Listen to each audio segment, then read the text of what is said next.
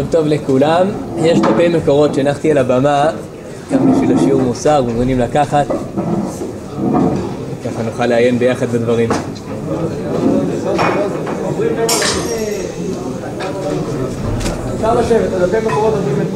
סיימנו את פרשת בו ואנחנו נכנסים לפרשת בשלח. סיימנו את עשרת המכות שהקדוש ברוך הוא הנחית על מצרים מכה אחר מכה ואנחנו נכנסים לקרוא על קריאת ים סוף, לקרוא על השירה הגדולה של עם ישראל, שירה שאנחנו קוראים אותה כל יום. בדברים שלנו ננסה לבחון דבר, פן נוסף שעם ישראל חוו ביציאת מצרים בעשר מכות, פן שאנחנו יכולים ללמוד ממנה הרבה על ההתנהלות של היצר הרע, על האבדון שבשגיאות בחומר, ואנחנו נבין מזה איך בני ישראל קפצו משם לדרגה מאוד מיוחדת בשירת הים. עשר המכות ודאי שיש להם קודם כל תפקיד בסיסי ויסודי לתת נקמה גדולה במצרים ששיעבדו ורצחו את עם ישראל במשך שנים. הנביאים השונים, ישעיהו, יחזקאל, ירמיהו מלאים בפרקים ארוכים שמפרטים פירוטים מאוד מפורטים איך כל אומה ואומה שפוגעת בישראל תבוא על עונשה. כך גם במצרים, קראנו על זה גם בהפטרה האחרונה, קראנו בירמיה מ"ו אתה אל תירא עבדי יעקב נאום אדוני כי איתך אני כי אעשה כלה בכל הגויים אשר דחתיך שמה גם פה, ודאי שגם במצרים העשר מכות נועדו קודם כל להרים את הקרן של עם ישראל ולתת נקמה גדולה במצרים. אפשר לראות על זה את דברי אור החיים בפרק י' פסוק א' הקדוש ברוך הוא שולח את משה לתת מכות למצרים, לפרעה והקדוש ברוך הוא משתמש בביטוי ויאמר השם אל משה דקדק אור החיים פה, נקרא אותו בפנים, אמר לשון אמירה רכה, זה לא דיבור אלא אמירה. גם הזכיר שם הרחמים, שם י"ק ו"ק לא לצד המשתלח אליו, ודאי שכלפי המשתלח, כלפי פרעה במצרים יש פה מידת הדין, לא מידת רחמים אלא לצד השליח שהוזכר בסמוך אל משה, הקדוש ברוך הוא משתמש בביטוי הרך ובשם של מידת הרחמים כלפי השליח, כלפי משה רבנו כי הם דברים שישמח בהם צדיק כי חזן הקם. לזה אמר לשון אמירה והזכרת שם הרחמים כי הם דברים הסועדים את ליבו. כן, אור חיים היה לאומני גדול הוא מזכיר לנו שהקדוש ברוך הוא משתמש בשם של רחמים שכלפי משה רבנו הנקמה בפרעה ובמצרים סועדים את הלב של משה רבנו. ודאי שזה פן מאוד מאוד בסיסי של עשרת המכות. יש פן נוסף בעשרת המכות, מאוד מפורסם, שהרמב"ן מדבר עליו, על בסיס האמונה של עם ישראל. הקדוש ברוך הוא בעשרת המכות מבסס את זה שהוא שולט בעולם, מנהיג, מתערב ורואה כל דבר שקורה. אפשר לקרוא את דברי הרמב"ן בפנים, המקור השני פה. ואתה אמר לך כלל בטעם מצוות רבות, הנה מת היה היות עבודת גילולים בעולם מימי אנוש, החלו הדעות להשתבש באמונה. מהם כופרים בעיקר ואומרים כי העולם קדמון, כי חשוב בהשם ויאמרו לו הוא, ומהם שמכחישים בידיעתו הפרטית, ואמרו איכה יד האל ויש דעה בעליון, ומהם שיודעו בידיעה ומכחישים בהשגחה ויעשו אדם כדגי הים שלא ישגיח האל בהם ואין עמהם עונש או שכר, יאמרו עזב השם את הארץ וכאשר ירצה האלוהים בעדה וביחיד ויעשה עמהם מופת בשינוי מנהגו של עולם בטבעו יתברך יתברר לכל ביטול הדעות האלו כולם כי המופת הנפלא מורה שיש לעולם אלוה מחדשו ויודע ומשגיח ויכול. דברים שנזכרים גם בתקרת ספר הכוזרי שעם ישראל ביסס את האמונה שלו בקדוש ברוך הוא שמחפש שאדם ייפגש איתו יקיים את המצוות שלו ויתפלל אליו דרך המכות של מצרים.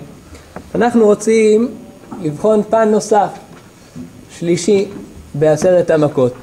לבחון איך עשרת, עשרת המכות העבירו את בני ישראל בחוויה אדירה, לראות איך ההשתקעות בחומר, איך השעבוד ליצר הרע מוביל את, מוביל את האדם לאבדון. ונפתח בשאלה מאוד יסודית וכללית על ההתנהלות של יציאת מצרים. הקדוש ברוך הוא מצווה את משה רבנו לומר לפרעה שהמטרה היא לצאת לשלושה ימים לחוג במדבר, זה נמצא לפנינו פה בפסוקים. בפרק ג' פסוק י"ח ובאת אתה וזקני ישראל אל מלך מצרים ואמרתם אליו אדוני אלוהי העברים נקרא עלינו ואתה נלחנה דרך שלושת ימים במדבר ונזבחה לאדוני אלוהינו.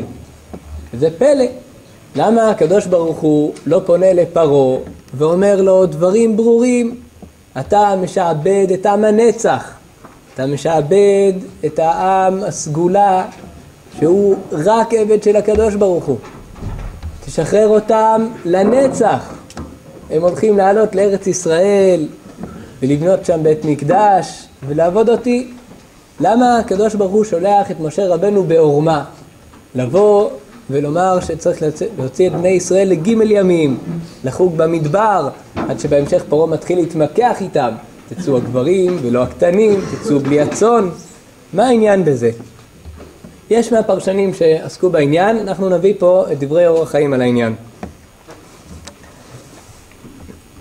נקרא פה את הדברים המודגשים, נתחיל מהפסקה מצד שמאל למעלה.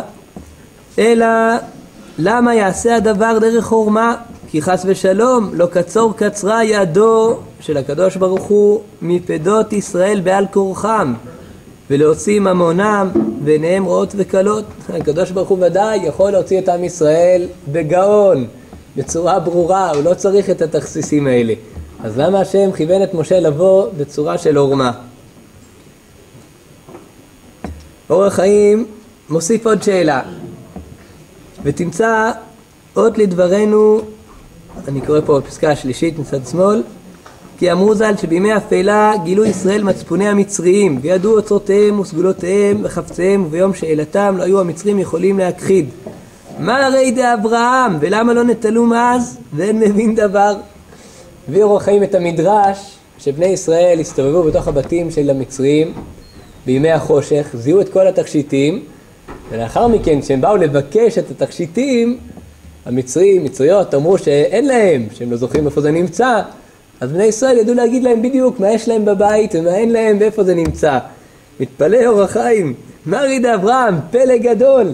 אם הם כבר היו שם בבתים שלהם בחושך, אז בימי החשיכה היו לוקחים כבר אז את התכשיטים. מה העניין להשאיר את התכשיטים ולבוא אחר כך לבקש אותם? הרי זה עורמה וזה עורמה. באותו מידה שזה עורמה לקחת את זה בלי רשות בימי החשיכה, זה גם עורמה לבקש את זה לשלושה ימים ואחרי זה להמשיך עם זה הלאה לארץ ישראל. אז מה ההבדל ביניהם? למה להתעכב עם זה? עונה על השאלות האלה אורח חיים, אני קופץ פה למעלה, ונראה לומר, בפסקה השנייה בעמוד, כי נתכוון השם בזה להטותם כדי שירדפו אחריהם להיכבד בפרעה וגומר. וזולת ההשאלה, גם זולת הליכתם בדרך זה על דעת לחזור, לא היו המצרים רודפים אחריהם. אומר אורח חיים שההסבר לכך שהקדוש ברוך הוא מכוון את משה רבנו לבקש ללכת רק לשלושה ימים לעורמה הזאת, הסיבה שבני ישראל הלכו ושאלו את הכלי כסף וכלי זהב ולא לקחו אותם מימי החשיכה היא כדי לגרום לפרעה ולמצרים ליפול, לרדוף אחר בני ישראל גם אחרי שהם יוצאים, להיכנס לתוך הים כמו שנלמד בפרשת השבוע וליפול שם. מה שגרם להם לשוב ולהמשיך לרדוף אחרי עם ישראל גם אחרי המכה של, מכת, של הבכורות, גם אחרי הקושי הגדול שלהם שבהם הם נשברו ושחררו את בני ישראל, היה העניין הזה. שהם היו בטוחים שהם יוצאים לגימל ימים, וברגע שהם ראו שבני ישראל ממשיכים הלאה, הם נפלו והמשיכו לרוץ אחריהם. אור חיים פה בפסקה שלא קראנו, מיישב עוד שאלה מאוד יפה בפשט לפי העניין הזה, לפי ההסבר שלו. שהקדוש ברוך הוא אומר למשה כבר בתחילת הדברים, כבר בשליחות הראשונה שלו, שבני ישראל עתידים ללכת ולבקש תכשיטים ממצרים. שואל אור החיים, למה זה נמצא פה? זה דבר שיבוא לקראת סוף המכות. למה זה נמצא פה כבר בשליחות הראשונה של משה רבנו? אומר אור החיים, זה נמצא פה כדי להסביר למשה למה יש עניין להגיד לפרעה לבוא דווקא לשלושה ימים, לצאת לשלושה ימים. הקדוש ברוך הוא אומר למשה, זה שאני שולח אותך בעורמה ללכת לבקש יציאה רק לגימל ימים, זה בשביל שאחרי זה הם ירדפו אחריכם, לקבל בחזרה את התכשיטים ולמנוע מכם ולהמשיך הלאה אחרי הגימל ימים הראשונים. עד כאן הסבר בסיסי של אור החיים לעניין. נוסיף פה נקודה חשובה שאור החיים אה, מתמקד בו. הוא אומר שלמרות שהקדוש ברוך הוא שולח את משה רבנו בעורמה, להגיד לפרעה שיוצאים לגימל ימים, לשים לב שהקדוש ברוך הוא נקי מהעורמה הזאת. איך זה? הוא מזכיר פה שלוש נקודות שונות. זה נמצא פה בשלושת הפסקאות האחרונות פה בעמוד הראשון, נקרא פה את השורות המודגשות. ומה שלפנינו העניין הוא יותר נקי ובר. כי דקדקתי בכל הדברים הנאמרים בעניין ואין בהם דבר שקר, כי לא הזכירו בלשונם החזרה כלל. אומר אור חיים, השקר פה לא היה ממש שקר, הם רק אמרו שהם רוצים לצאת לגימל ימים, לחוג במדבר. לא כתוב בשום מקום שהם עתידים לחזור חזרה. זה נקודה ראשונה שהוא מזכיר. נקודה שנייה הוא מביא פה, וגם לשון זה לצד מעלת קדושו אלוהי ישראל, לא רצה לכנות הדברים אליו, אלא הם, בני ישראל, ידברו כזה. ולזה אמר תיבת ועתה, פירוש לומר כי הם דברי עצמם, לא דברי עליון. תראו שוב את הפסוקים שקראנו, נמצא בצד הימני, ובאת אתה בזקני ישראל למלך מצרים, ואמרתם אליו, אדוני אלוהי עברים נקרא עלינו, ואתה נלחנה דרך שלושת, שלושת ימים. מה זה ואתה הזה? מה, מה המשמעות של הפסוק? באור החיים זה בא לספר לפרעה עד כאן דברי השם. נלחנה אה, אה, אלוקי העברים נקרא עלינו, זה דברי השם. ועכשיו הדברים שלנו, אנחנו רוצים לצאת לגימל ימים. כלומר, הגימל ימים הוסב על בני ישראל, על בקשת משה, לא על הקדוש ברוך הוא. ברוך חיים מוסיף עניין שלישי, והבינותי באמרי נועם, באומרו שלח את עמי ויחוגו לי במדבר, כי כל דבריו באמת צדק ומשפט. שהרי דור שיצאו ממצרים לא חוגגו אלא במדבר, כי שם נפלו פגריהם וכולי. אומר אור החיים נקודה שלישית, באמת בני ישראל נשארו במדבר. הם יצאו, והדור הזה לא נכנס שוב לארץ ישראל. זה כל זה אני אומר, מביא במאמר מוסגר, החיים מזכיר שגם דברי העורמה האלה הם דברים נקיים עם שקר בגבול כזה שאין פה שקר מפורש. אבל אור החיים בפרשת בו מוסיף לכל העניין הזה מימד נוסף מאוד מאוד משמעותי. אנחנו פוגשים בפרשת בו את עבדי פרעה אומרים לפרעה, הטרם תדע כי עבדה מצרים. אחרי שבעת המכות הם פונים לפרעה והם אומרים לו, תראה מה קורה פה. הארץ הולכת ונאבדת, עד מתי אתה הולך להחזיק את עם ישראל? בשלב הזה פרעה קורא למשה ואומר לו, מי ומי ההולכים? ופרעה מוכן לשחרר את הגברים בלי הטף, משה רבנו לא מוכן, ובזה פרעה אה, מתעלם ממשה. פרעה מצליח איכשהו ליישב את הטענה של העבדים שלו עד מתי יהיה זה לנו למוקש, עד מתי אתה מחזיק את בני ישראל, דרך זה שהוא קורא למשה, מציע לו ללכת לעבוד רק הגברים בלי הילדים, וכשהוא לא מוכן, טענת העבדים נשקטה, הם לא ממשיכים להתווכח איתו. זה פלא, איך פרעה ענה למשרתים שלו, לעבדים שלו, במה הוא הצליח ליישב את הלב שלהם. אומר אור החיים, בעמוד השני למעלה אני קורא, וראיתי לתת לב במה הסכימה דעתם של העבדים על אבידת מצרים אחר כך, ושתקו והלכו להם. ולהבין העניין נשכיל בחקור בעניין מה הייתה דעתו של פרעה ועבדיו מתחילת העניין. האם יש שותק גמור בעולם שיסבול כל הוראות והצהרות ההמה ויכניס עצמו בסכנות נפשות? שואל אור החיים, מה עמד לפרעה בראש? איך הוא ממשיך לחטוף עוד ועוד ועוד בלי שהוא משחרר אותם? כתוב שהשם הקשה את ליבו, אבל עדיין איך זה עבד? מה הוא אמר לעבדים שלו? איך לא הייתה שם התקוממות רבתית על המלך הזה שהולך, ממשיך ומתעקש ומאבד את כל המדינה. ועוד לא ממשיך אור החיים ושואל שלקה אלוהו ושפו מקנה ועבדו צמחי אדמה וכמעט שפו תמו כי אמרו הטרם תדע כי עבדה מצרים ומן הסתם לא יאמן כי כל כך טיפש היה. קשה לומר אומר אור החיים שפרעה היה כל כך טיפש. מלך של האימפריה המצרית. והגם כי הקשה השם את רוחו עם כל זה צריך שתהיה לו איזו סברה שבה יתגלה טיפשותו.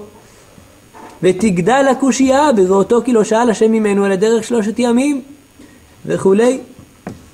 אומר אור החיים פה יסוד גדול שמסביר לנו מה עמד לפרעה בראש. מה הייתה ההתנהלות שמה. והבין דבר, אני קורא פה בחלק המודגש הבא, להבין דבר כי הוא זה אשר איתה ולפרעה ולכל עמו, אופן השליחות אשר שלח השם לשלוח ישראל לחוג במדבר. דווקא זה שהשם פנה לפרעה בשליחות משה ואמר לו שאנחנו צריכים לצאת ג' ימים לחוג במדבר, דווקא זה מה שגרם לפרעה לא לשלוח את בני ישראל. איך זה עובד? מסביר אורח חיים שהכוונה הוא לשוב אחר כך, הרי הוא גלוי לפרעה ולעמו, כי לא בהחלט הוא שואל. ומזה נפל הטעות, כי יש בדבר שני צדדים. האחד, כי דבר השם אמת הוא, כי אינו חפץ אלא דרך שלושת ימים. והבית, כי הדברים באו דרך עורמה, ואין דעתו אלא להוציאם לחלוטין. ולפי זה הדברים מעידים כי כביכול אין כוח בו להוציאם בהחלט, מרמינן. הלמדת שיש לו מניע חס ושלום לרצון אשר יחפוץ. ולזה פרעה ועבדיו לצד שלילת עיקר האמונה בהם חשבו צד הבית.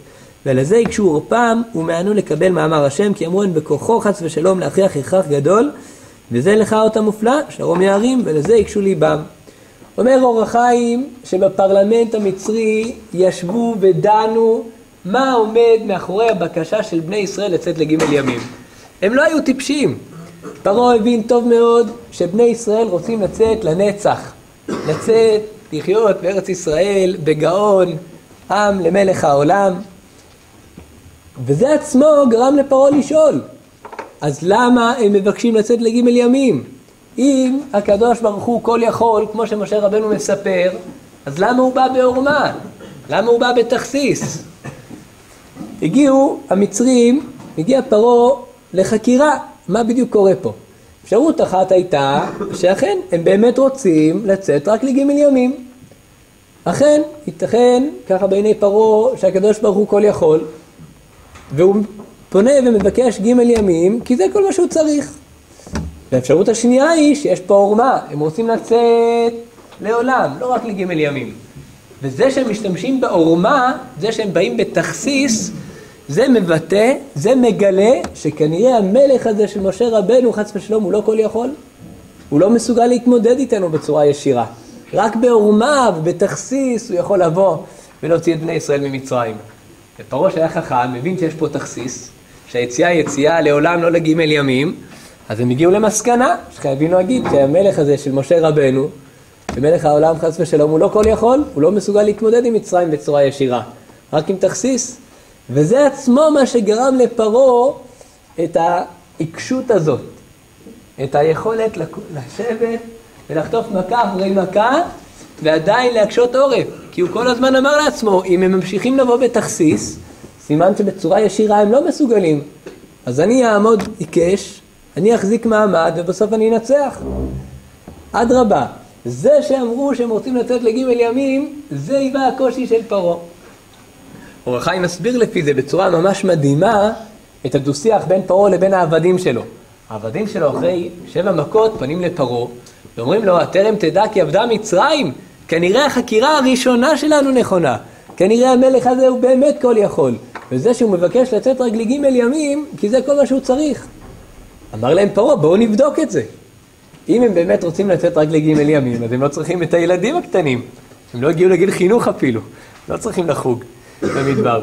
פרעה קורא לה, למשה, ואומר לו, אני מוכן להוציא אתכם לגימל ימים במדבר, כמו שאתה מבקש, אבל בצורה שיוצאים לחגוג במדבר, בלי הילדים הקטנים. הם סתם יסבלו שם בחום. וכשהוא רואה שמשה רבנו לא מסכים לזה, אז פרעה מסתובב לעבדים שלו, והוא אומר להם, אתם רואים? החקירה, הצד השני בחקירה הנכונה.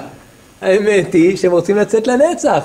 ואם הם בכל זאת באים בטרוניה, בעורמה, רק לגימל ימים, אז זה ראיה שהמלך שלהם הוא לא כל יכול, אנחנו נמשיך להחזיק חזק ונתגבר. ננסח לעמוד מול הקדוש ברוך הוא כביכול. יש פה דבר מדהים. עם ישראל יושב במצרים, רואה את המצרים חוטפים מכה אחרי מכה, דבר אחרי דבר הולך ומתרסק להם. והם בטח שואלים, איך זה שפרעה לא מוכן לשלח אותנו? הם שואלים את השכנים המצריים שלהם, למה אתם מחזיקים אותנו? מה תרוויחו? אתם לא רואים שהקדוש ברוך הוא התגלה עלינו, מתחיל להכות בכם מחר, מכה אחרי מכה? והם שומעים, יש הדלפות מהקבינט המצרי. הם שומעים מה קורה שם בפנים.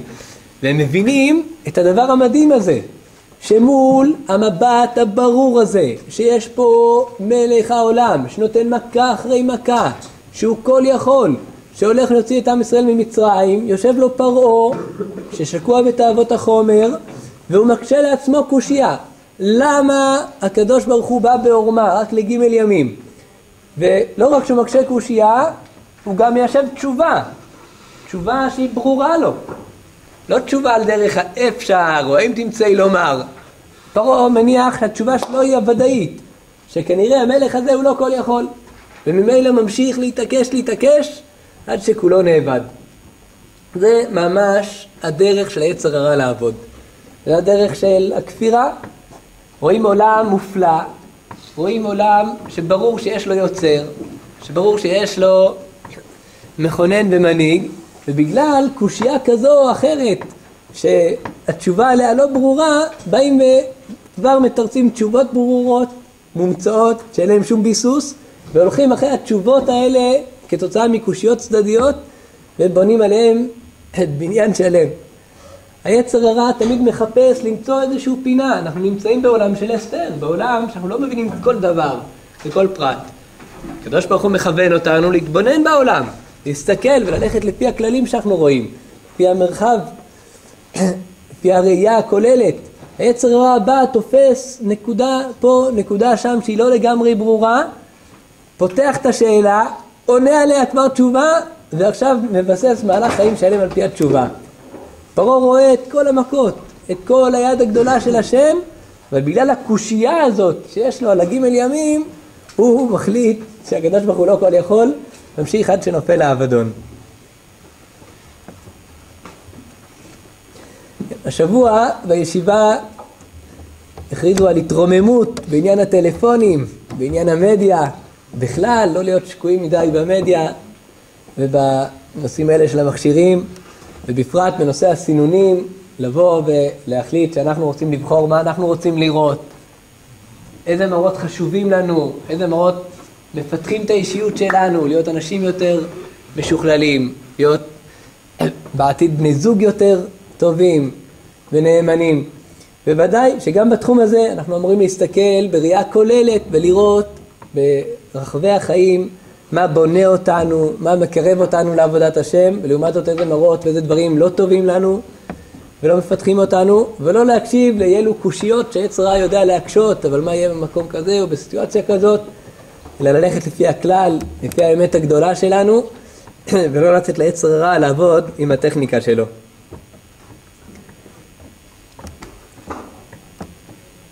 הרב קוק בעין היה מבאר גמרא מאוד מיוחדת במסכת ברכות. הגמרא במסכת ברכות, בתחילת פרק שני, מזכירה את דברי סומכוס. תניא, סומכוס אומר, המעריך באחד, מעריכין לו ימיו ושנותיו. סגולה מיוחדת לאריכות ימים, מודיע לנו סומכוס, מי שמעריך באחד, זוכה לאריכות ימים. תסביר לנו הרב קוק שככל שאדם מציב לעצמו מטרה יותר גדולה בחיים, הוא זוכה ליותר זמן. הקדוש ברוך הוא מזכה אותו ליותר זמן כדי לקיים את אותה מטרה גדולה.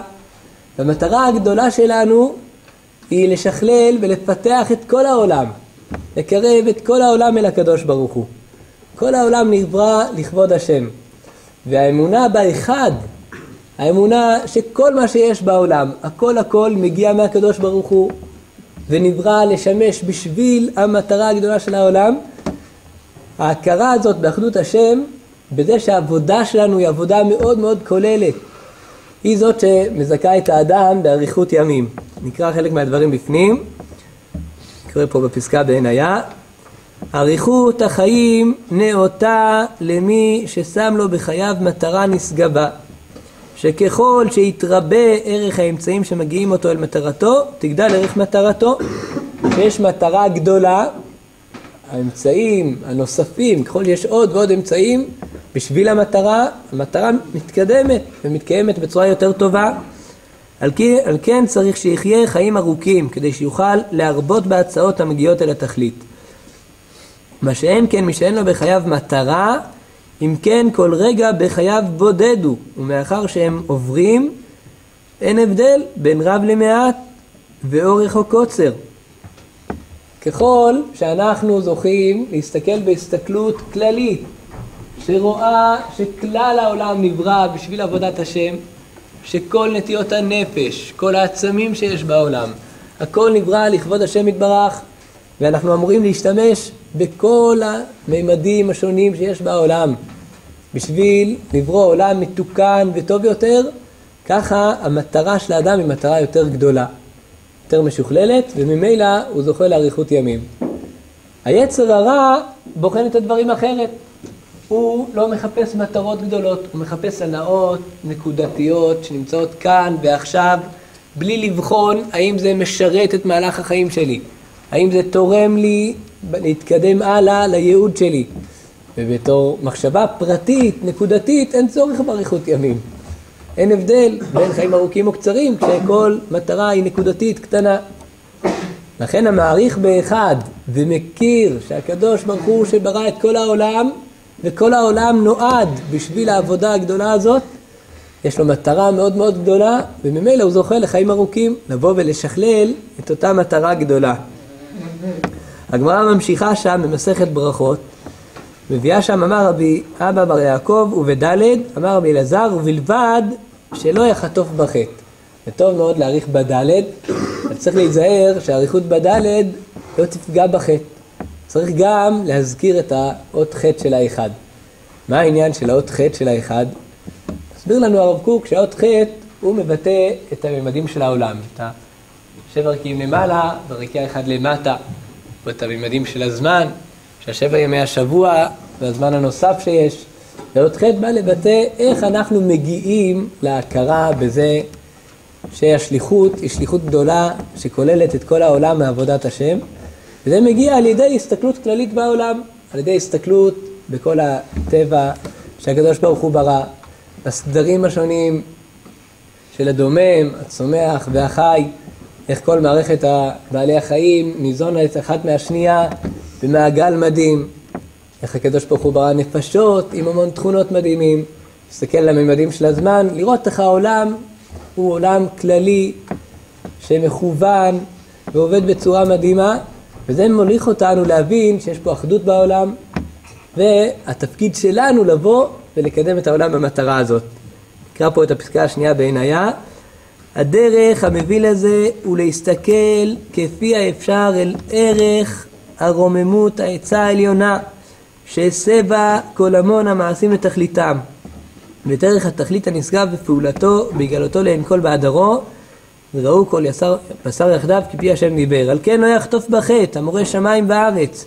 כי יצור זין רקיעים בארץ, שהוא ערך של התחלת הפועל וגמר תכליתו, וכרך הזמן, זין ימי השבוע, אמרו שלמעלה ממנו. אנחנו קוראים בפרשת השבוע את שירת הים, אז ישיר משה ובני ישראל. פרשנים עומדים, מה זה ישיר? מה זה היוד? מה התפקיד של היוד שהופכת את השירה לעתיד? עד, אז ישיר בעתיד. מפרש לנו רש"י את היוד הזאת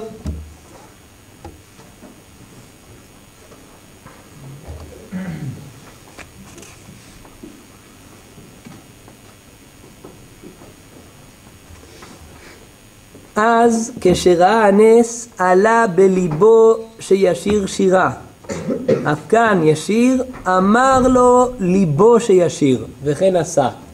אומר רש"י בפירוש הראשון שלו בתור פשט, מה זה ישיר בלשון עתיד? אמר לו ליבו שישיר, וכן עשה. טעון, טעון הסבר, מה המשמעות של זה? מה התפקיד של היוד בלשון עתיד במובן של אמר לו ליבו שישיר?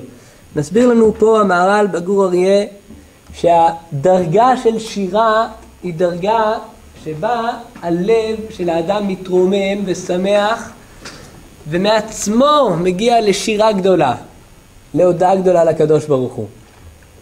יש דרגות שבה האדם עם השכל שלו כופה על הנפש, על האישיות שלו להתחיל לעשות אלו דברים.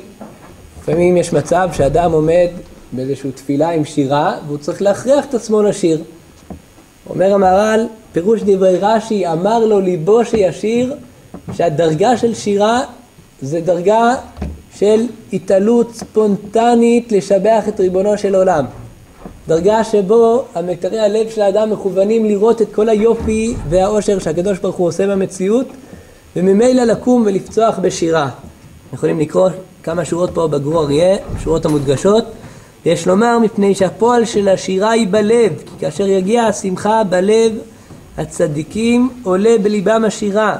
כלומר שהגיע בליבם השמחה מן הנס, ולא שהיו מכריחים עצמם אל השירה על ידי שכלם כאדם שהוא מכריח עצמו לדבר. שאם כן לא היה, לא היה שירה בשמחה, אבל השירה שהיא בשמחה מתחילה מתחדש לו שמחה גדולה בלב ומזה עלה בליבו שישיר. לחבר את הדברים יחד, כשבני ישראל רואים את המצרים רודפים אחריהם. בכזו עיקשות, רודפים אחריהם ועוד נכנסים לתוך הים הפתוח. הם רואים פה מציאות ניסית, מציאות לא טבעית, והם בכל זאת נכנסים פנימה. וחושבים שהם יכולים להתגבר על עם ישראל. זה מראה לבני ישראל בבת אחת, מחד את ההתנהלות של הטומאה של מצרים כמו שהתורה אומרת לנו כמעשה ארץ מצרים לא תעשון, במצרים הייתה טומאה נוראית. היה שקיעות בחומר וביצר הרע והם מבינים שמזה מגיע פרעה להתנהלות האובדנית הזאת. לאובססיה הזאת לשעבד את בני ישראל גם במחיר שהוא מאבד את כל מצרים שהוא מכניס את כולם לתוך הים לאבדון. מצד אחד הם רואים איך היצר הרע לא יודע להסתכל בצורה רחבה לא יודע לקרוא את המפה הוא תקוע במין שאלות צדדיות למה באו לשלושה ימים ולא ליותר היצר הרע תקוע בשאלות פרטיות כבר מקבל עליהם תשובות ומתנהג על פי זה למרות שזה מוליך את האדם לתוהו, לאבדון. בני ישראל רואים את מצרים רודפים לתוך הים והם יודעים למה זה. הם שמעו מהפרלמנט המצרי מה הלך הרוחות שמה, כפי שאור החיים מסביר לנו.